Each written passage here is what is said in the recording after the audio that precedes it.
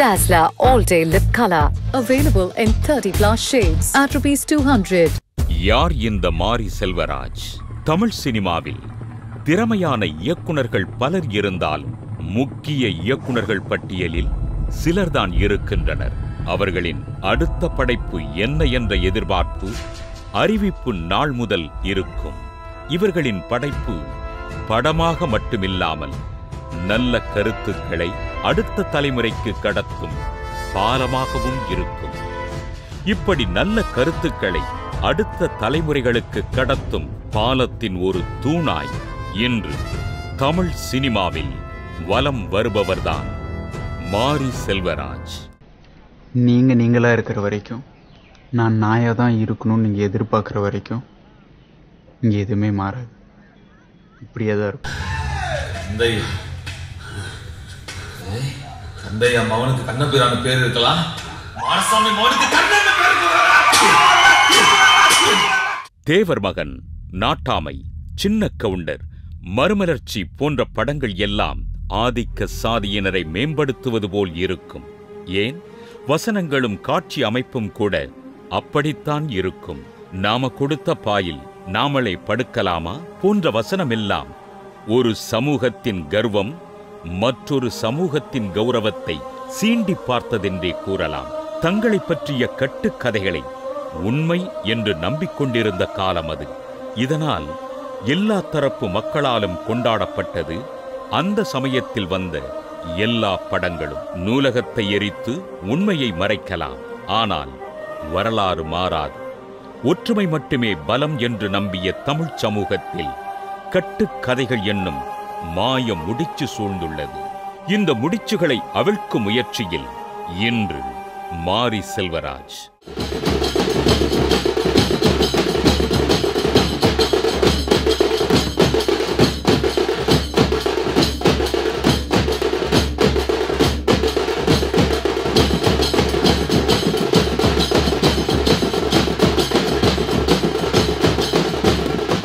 இவர் திருநெல்வேலிக்கு அருகில் உள்ள புளியங்குளம் என்ற கிராமத்தில் ஆயிரத்து தொள்ளாயிரத்து எண்பத்து நான்காம் ஆண்டு மார்ச் ஏழாம் தேதி பிறந்தார்.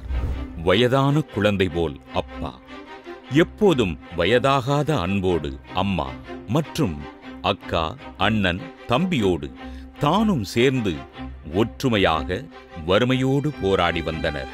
அப்பாவிற்கு விவசாயம்தான் தொழில் என்றாலும் குடும்ப கஷ்டத்தை போக்க வேடம் கட்டி ஆடுவதை துணை தொழிலாக்கிக் கொண்டார் சாம்பல் பறக்கும் அடுப்பை அவ்வப்போது தணல் விடச் செய்வது அப்பாவின் ஆட்டம்தான். அதேபோல் உள்ளூர் கோவில் திருவிழாக்கள் சுப நிகழ்ச்சிகள் என்றால் அங்கு மாரி செல்வராஜின் நடனம் கட்டாயம் இடம்பெறும். அப்போதே இவர் நடனத்திற்கென்று தனி ரசிகர்கள் கூட்டம் இருந்ததென்றே கூறலாம்.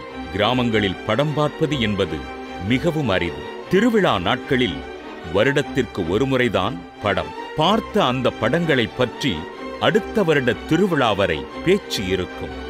படங்களை மாரி செல்வராஜ் அணுகும் முறை மற்றவர்கள் மீது இவரின் பார்வை சிறுவயதில் இருந்தே வேறு மாதிரியாகத்தான் இருந்தது.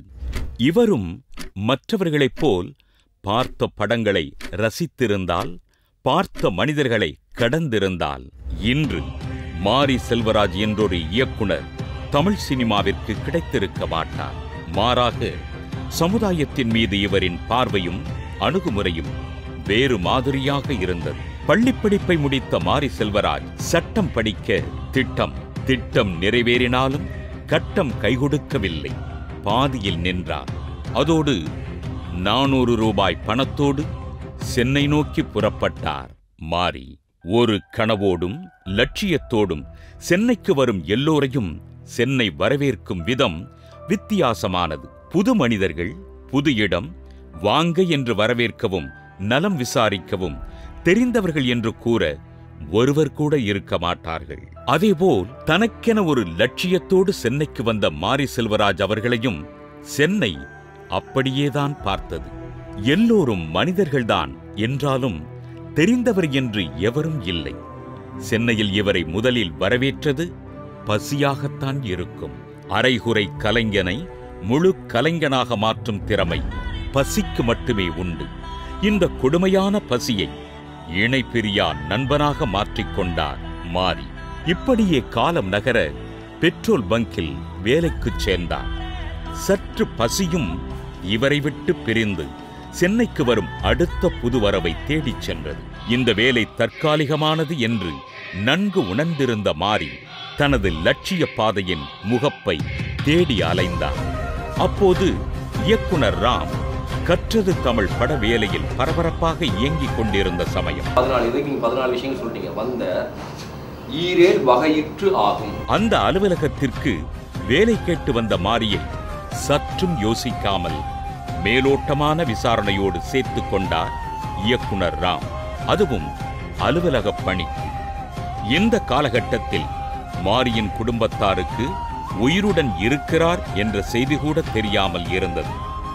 அலுவலக பணியோடு அலுவலகத்தில் இருக்கும் புத்தகங்களை வாசிப்பது வேற்றுமொழி படங்களை பார்ப்பது மூன்று வேளை உணவு உறங்க நல்ல இடம் என்று வாழ்க்கை சற்று சுகமானது. ஒருமுறை ஆயிரத்து தொள்ளாயிரத்து ஐம்பத்து ஒன்பதில் வெளிவந்த த ஃபோர் ஹண்ட்ரட் பிளவுஸ் என்ற பிரெஞ்சு மொழி கருப்பு வெள்ளை படத்தை பார்த்துவிட்டு இந்த படத்தின் மூலம் தான் உணர்ந்ததையும் தான் கடந்து வந்த பாதைகளையும் ராமிடம் பகிர்ந்து கொண்டார் மாறி Oh mon Dieu, Antoine, il m'a sûrement vu. Ton fils, c'est lequel des deux? இந்த சிறுவயதில் இத்தனை பெரிய அனுபவமா? என்று வியந்து போன இயக்குனர் ராம் நீ அலுவலகப் பணிக்கு வந்தவன் அல்ல. தமிழ் சினிமாவை ஆள வந்தவன் என்று தான் இயக்கும் முதல் படமான கற்றது தமிழ் படத்தில் உதவி இயக்குனராக்கினார் அதோடு அந்த படத்தில் ஒரு காட்சியிலும் நடிக்க வைத்தார். டுவெல்த்தில் தமிழ் படிக்க வந்திருக்கீங்க. ரொம்ப நன்றி. உட்காருங்க. நடிகனாக வேண்டும் என்ற கனவோடு வந்த மாரியை தனது முதல் படைப்பிலேயே நடிக்க வைத்து மாரியின் கனவை நினைவாக்கினார் ராம். ராமை பற்றி மாறி கூறினால் இவரோடு ஒப்பிட இவ்வுலகில் ஆளில்லை என்றுதான் இன்று வரை கூறுவார். அந்த அளவிற்கு குருவாகவும் நண்பனாகவும் ராமின் அக்கறை ஆக்கிரமித்துள்ளது மாரியை. கருவறையில் இருக்கும் தெய்வங்கள் எல்லாம் ராமின் வேடமிட்டு இருக்கும் மாரியின் கண்களுக்கு மட்டும். அதற்கு காரணம் சினிமாவிற்கு முன் நல்ல ஒழுக்கத்தையும் இலக்கியத்தையும் கற்றுக் கொடுத்தவர் தனது குரு ராம் அவர்கள்தான். மேலும் தமிழில் மொழிபெயர்க்கப்பட்ட போது வேற்றுமொழி புத்தகங்களும் குருவிடம் கற்றுக்கொண்ட இலக்கியமும் மாரியை எழுத்துத் துறைக்கு நகர்த்தியது. தாமிரபரணியில் கொல்லப்படாதவர்கள் மறக்கவே நினைக்கிறேன் போன்ற புத்தகங்கள் மாரியின் எண்ணத்தில் உருவான எழுத்துக்கள். குறிப்பாக தாமிரபரணியில் கொல்லப்படாதவர்கள் புத்தகம் பெருவாரியான வாசகர்களை பெற்றது. கற்றது தமிழை தொடர்ந்து தங்க மீன்கள் தரமணி போன்ற படங்களிலும் உதவி இயக்குனராக கிட்டத்தட்ட பனிரண்டு ஆண்டுகள் இயக்குனர் ராமோடு பயணித்தார் மாரி பேரன்பு படத்தில் உதவி இயக்குனராக பணியாற்றிக் கொண்டிருந்த நேரத்தில் தனது முதல் கதையான பாண்டிய ராஜாக்கள் படத்தின் கதையை எழுதி முடித்தார் மாரி அந்த படம்தான் தனது இரண்டாவது படைப்பான கர்ணன். இந்த படத்தின் கதையை தனது குருவான ராமிடம் கூறியபோது பெரிய பொருட்செலவாகும் என்பதால் குறைந்த செலவில் வேறு ஒரு கதையை தயார் செய்யும்படியும் கூறினார். அதற்கு பிறகு உருவான கதைதான் பரியேறும் பெருமாள். ஆறு மாதத்தில் உருவாக்கப்பட்ட இந்த கதையை கேட்ட ராம் இயக்குனர் பா. ரஞ்சித்திடம் சிபாரிசு செய்தார். விகடனில் மாரியின் எழுத்துக்களை படித்து தொடர்ந்து பாராட்டி வந்த ரஞ்சித்தின் சம்மதம் பெற பெரிய முயற்சி எதுவும் எடுக்கவில்லை மாரி செல்வராஜ். திறமையானவர்களால் மட்டுமே திறமையானவர்களை அடையாளம் காண்பது எளிது.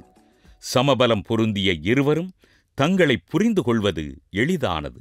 பா ரஞ்சித்தின் நீலம் புரொடக்ஷன் என்ற தயாரிப்பு நிறுவனம் துவங்கி முதல் தயாரிப்பான பரியேறும் பெருமாள் தயாரானது. அதுவும் மாரியின் சொந்த கிராமத்தில் படம் தயாரானது. படப்பிடிப்பு நடந்து கொண்டிருக்கும் போதெல்லாம் நாம் போகும் பாதை சரிதானா? இந்த கதையை ரசிகர்கள் ஏற்றுக்கொள்வார்களா? என்ற சந்தேகம் வரும் போதெல்லாம் தனது குரு ராம் அவர்களிடம் கூறி தனது பயத்தை குமுறலுடன் வெளிப்படுத்துவார் மாரி இப்படி மாறி கண்கள் கசியும் போதெல்லாம் கைக்குட்டை கொடுத்து ஆறுதல் கூறுவது ராம் அவர்கள்தான். தன் சொந்த கிராமத்தில் தன் சொந்த மக்களை வைத்து தன் வாழ்க்கையில் தான் அனுபவித்த விஷயங்களும் தான் கடந்து வந்த வழிகளையும் படமாக்கினார் மாறி. இந்த படம் இரண்டாயிரத்து பதினெட்டாம் ஆண்டு செப்டம்பர் இருபத்தெட்டாம் தேதி திரைக்கு வந்து மாபெரும் வெற்றி பெற்றது. யோ இன்னைக்கு உன் பொண்ணு பார்த்து சிரிச்சால அப்பான்னு கூப்பிட்டால அந்த சிரிப்பும் அந்த அப்பாங்கிற வார்த்தையும் நான் உனக்கு போட்ட பிச்சை விமர்சன ரீதியாகவும் பலரின் பாராட்டை பெற்றது. இப்பதான் பரையரும் பெருமாள் பார்த்துட்டு வந்தோம். சில படங்கள் தான் நம்மளை வந்துட்டு ஒரு நெஞ்சார பாதிக்கும். ஒரு ஒரு லைக் நம்மளுக்கு நம்ம பல விஷயம் யோ யோசிக்க வைக்கும். லைக் படம் பார்த்துட்டு போனதுக்கப்புறம் கூட ஒரு என்டர்டெயின்மெண்ட் தாண்டி அது யோசிச்சு நம்மளை ரொம்ப பாதிக்கும். அந்த மாதிரி ஒரு படம். அதோடு பல விருதுகளையும் குவித்தது சிறந்த இயக்குனர் என்ற பெயரை தனது முதல் படத்தில் மாறியும் சிறந்த தயாரிப்பாளர் என்ற பெயரை தனது தயாரிப்பு நிறுவனத்தின் முதல் படத்தில் பா. ரஞ்சித் அவர்களுக்கும் பெற்றுக் கொடுத்தது பரியேறும் பெருமாள். மாரிக்கு இது முதல் படமல்ல முதல் கோபம். என்று பாராட்டினார் இயக்குனர் ராம். அவன் தாமிரபரணி ஓரத்திலிருந்து கிளம்பி வந்து தன்னுடைய கோபத்தோடும் ரௌத்திரத்தோடும் பிரியத்தோடும் அன்போடும் காதலோடும் காமத்தோடும் கதைக்கிறான். அதுதான் பரியேறும் பெருமாள். இன்னும் சொல்லப்போனால் பரியேறும் பெருமாள் என்பது அவனுடைய தொடக்கம். பரியேறும் பெருமாள் பெற்றுக் கொடுத்த விருதுகளையெல்லாம் தனது குரு ராம் அவர்களின் பாதங்களில் காணிக்கையாக்கி அவர் பாராட்டியதை இவ்வுலகத்தின் தலைசிறந்த விருதாக ஏற்றுக்கொண்டார் மாரி செல்வராஜ்.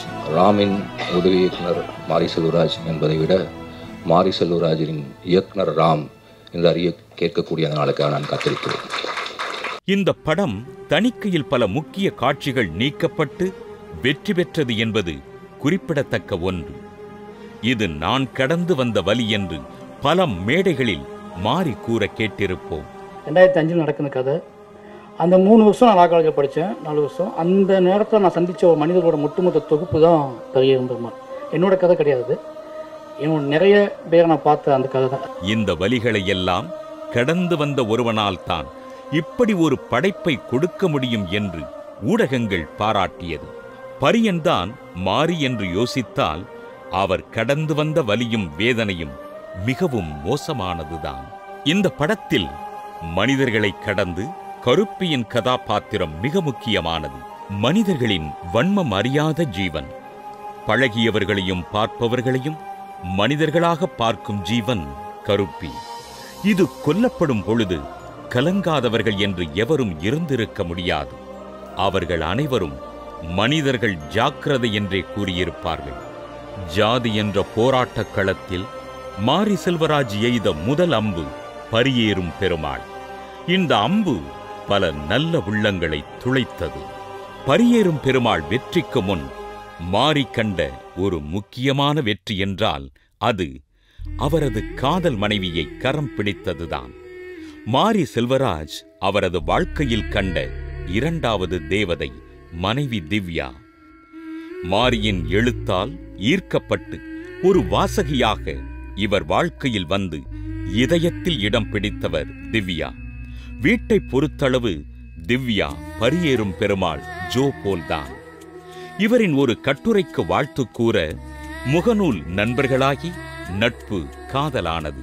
இவர்கள் இருவரும் வெவ்வேறு சமூகம் என்பதால் திவ்யாவின் வீட்டில் ஒப்புக்கொள்ள மாட்டார்கள் என்று எண்ணிய இருவரும் அன்பை பரிமாறியே ஆண்டுகள் போனது. அப்போது திவ்யா இரண்டாம் ஆண்டு கல்லூரி படிப்பை தொடர்ந்து கொண்டிருந்தார். ஒரு வழியாக திவ்யாவின் தாய் சம்மதிக்க இருவரும் ஒரு முடிவிற்கு வந்தார்கள். இரண்டு பேரில் யாராவது ஒருவர் நல்ல நிலைமைக்கு வர வேண்டும் என்ற முடிவுதான் அது. அதேபோல் திவ்யாவும் ஆசிரியர் படிப்பை முடித்து உடனடியாக வேலூர் அருகில் உள்ள குடியாத்தம் பகுதியில் ஆசிரியரானார். அந்த சமயம் மாரி செல்வராஜ் கதை எழுதி முடித்துவிட்டு இயக்குனராகும் முயற்சியில் மும்முரமானார். இந்த முயற்சி திருவினையாகும் முன்பு திருமணம் நடந்தது இருவருக்கும். திவ்யாவை கரம் பிடித்த நேரம் அடுத்த பதினைந்து நாட்களில் பரியேறும் பெருமாள் உருவானது. மனைவி அமைவதெல்லாம் இறைவன் கொடுத்தவரும் என்பார்கள். மாறி வாழ்க்கையில் திவ்யா என்ற தேவதை அமைந்தது உண்மையாகவே இறைவன் கொடுத்த வரம்தான் இவர்கள் இருவருக்கும் இரண்டு குழந்தைகள் இருந்தாலும் தங்களது முதல் குழந்தையாக பரியேறும் பெருமாள் படம்தான் என்கின்றனர். வக்கீலுக்கு படி. அப்பதான் ஊருக்காக தைரியமா நெஞ்ச நிமித்தி எல்லாருக்கும் கேட்குற மாதிரி பேச முடியும். இன்னுமே நான் வக்கீல். பரியேறும் பெருமாள் பிஏபிஎல் மேல ஒரு கோடு. போதுமா? அடுத்து மாரி செல்வராஜ் இயக்கிய கர்ணன் ஏப்ரல் ஒன்பதாம் தேதி இரண்டாயிரத்து இருபத்தோராம் ஆண்டு வெளிவந்து மாபெரும் வெற்றி பெற்றது. நாங்க இப்ப நிமிர்ந்து பார்த்துட்டோம். இனி ஜென்மத்துக்கும் எங்களால குடிய முடியாது. நாங்க சண்டை போட போறோம். இந்த படமும் ஆயிரத்து தொள்ளாயிரத்து தொன்னூற்று ஐந்தாம் ஆண்டு நடந்த கொடியன்குளம் சாதி கலவரத்தை மையமாக கொண்டு எடுக்கப்பட்டது. இறந்தவங்கெல்லாம் அடிபட்டு செத்தவங்க தானே. அடிபட்டு நாளாக நாளாக அந்த உள்காயம் இருந்து தான் எல்லாம் இறந்துட்டாங்க. ஊருக்குள்ளே வந்தோன்னா கடப்பாறை கம்பி இவ்வளோ தண்டி கம்பு. கதவுலலாம் கடப்பாறையை வச்சு இடிச்சது. சூட் கேஸ் வீட்டு கேஸ் வீட்டு காட்டுக்குள்ளே ஆள் இருந்தால் இடித்து உடைச்சி உள்ளே போய் எல்லாம் நாதம் பண்ணிட்டாங்க. இந்த படம் மாபெரும் வெற்றி பெற்றது. அடுத்து மாரி செல்வராஜின் இயக்கத்தில் மா மன்னன் கொண்டுருவீங்களா ஊருக்குள்ள வந்தா கொண்டுருவீங்களா இந்த படத்தில் வடிவேலும் மாமன்னனாக நடித்து அமர்க்களப்படுத்தி இருக்கிறார் என்று உதயநிதி ஸ்டாலின் அவர்களே புகழாரம் சூட்டி வருகிறார். மாமன்னன் மா மக்களை சென்றடைய வாழ்த்துகள். அடுத்து மாரி செல்வராஜ் தயாரிப்பில் வாழை திரைப்படம் ரிலீஸுக்கு தயாராகி கொண்டிருக்கிறது. அதனைத் தொடர்ந்து துரு விக்ரமுடன் ஒரு படமும். தனுஷ் அவர்களுடன் மீண்டும் இணையப் போகிறார் புளியங்குளம் மாரி செல்வராஜ் என்கிற செல்வம். நல்ல மனிதர் நல்ல படிப்பு நல்ல உத்தியோகம். இவையெல்லாம் கொடுக்காத கௌரவத்தை சாதி கொடுக்கும் என்று எண்ணும் மனிதர்கள் இருக்கும் வரை. மாரி செல்வராஜின் படைப்பு தமிழ் சினிமாவிற்கு அவசியம்தான் என்றும் பரியேறும் பெருமாள் கர்ணன் போல் ஒவ்வொரு படைப்பும் இவரின் போர்க்களத்தின் அம்புகளாய் இருக்க வேண்டும் என்றும் வாழ்த்துகிறது Cini Ulagam Dazzler All Day Lip Color. Available in 30 plus shades at rupees 200.